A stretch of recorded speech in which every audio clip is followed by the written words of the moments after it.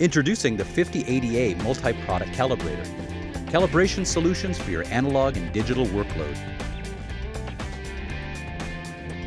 The 5080A features at a glance high compliance, protection circuitry, calibrates a wide workload including analog meters and 3.5 and 4.5 digit DMMs. Optional 5080 Cal software for easy to use automated calibration.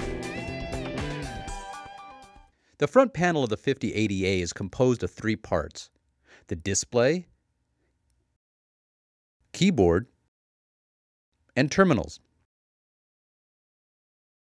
The display consists of a main display and a control display. The main display shows the value and output status of the calibration commands.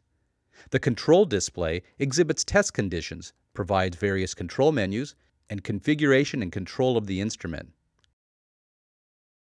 Let's take a look at the keyboard.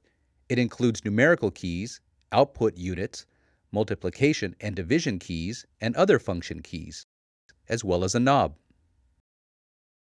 Next we have the terminals. The output terminals, high and low, are used to output voltage and resistance. The auxiliary output terminal is mainly used to output current. When used together, the main and auxiliary output terminals can also output 4-wire resistance. The 20 amp output terminal at the bottom provides 3 amp to 20 amp current output. These are the scope meter and mega ohm meter calibration output terminals. These options are installed and activated if purchased. The rear panel includes AC power input module, RS-232 port, and Ethernet port. The RS-232 and Ethernet ports are used to achieve remote control with the computer. The 5080A provides optional calibration software for automated calibration and data management.